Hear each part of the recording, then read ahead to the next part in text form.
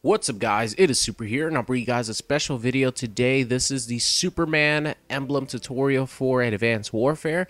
A huge thanks to Babifoot emblem creator because he was nice enough to let me upload his tutorial to my channel.